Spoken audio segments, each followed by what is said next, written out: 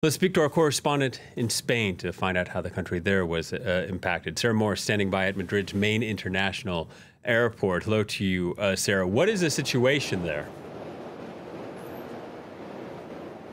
Well, there was considerable more chaos this morning, but there's still a lot of uh, a miser- um, really a miserable start for many passengers hoping to start their holidays or end them. Behind me, um, Barajas has normally, on a day like this, a Friday in July, uh, 1,200 flights. Many of the passengers uh, found that they couldn't get onto their flights uh, because of those uh, IT systems uh, being down. It principally hit uh, the check-in system and also the tannoys, the information system, and uh, all the passengers earlier on today were actually receiving handwritten boarding cards. now, the passengers have said to me that in many cases they missed their connection flights. Uh, they missed, uh, um, were unable to get through in time uh, to get on their flights.